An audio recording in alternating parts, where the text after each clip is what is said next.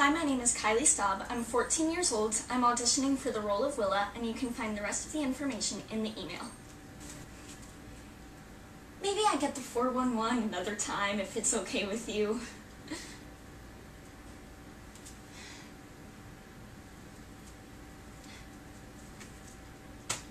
He's not in here. It's a storage room. It's like one of those computer clean rooms. And check it out! The temperature and humidity are monitored.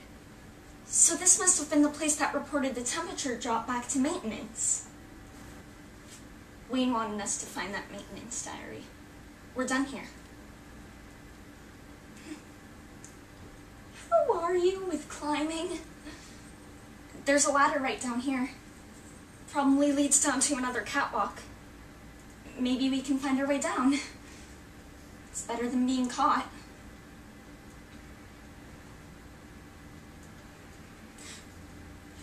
He's coming!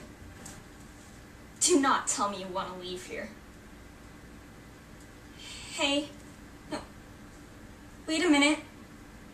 Enough with those looks! We've got to get something straight. Just because you may disagree doesn't mean you're the traitor. You should see how you're all looking at me right now. What if I'm the one voice of reason in all of this? Huh? What if I'm right and Philby's the one leading us out for the overtakers to catch us? I'm not trying anything. I'm just asking. Are we safer in here? We're out there. And I think the answer is pretty obvious. It makes total sense. They're trying to gather enough data to locate where Maleficent and Chernabog are being held. At the same time, they know that's going to attract our attention. Wayne, Philby, Wanda, someone. When that happens, they have a backup plan to lure Wayne out into the open. Maybe they want information from him, maybe they want to trade him for Maleficent and Chernabog, but it's all directed at the same goal.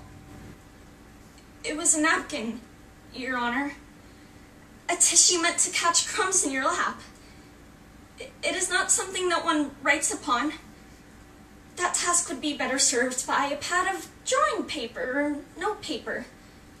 There may have been a logo or a business name I was meant to see. I'm sorry to say, I don't happen to remember. Oh, um, excuse me, but I have to go. But, you see those guards over there? Yeah? Yeah. I hear they'll give you candy if you hold on to them and don't let go. Okay? Alright. See ya.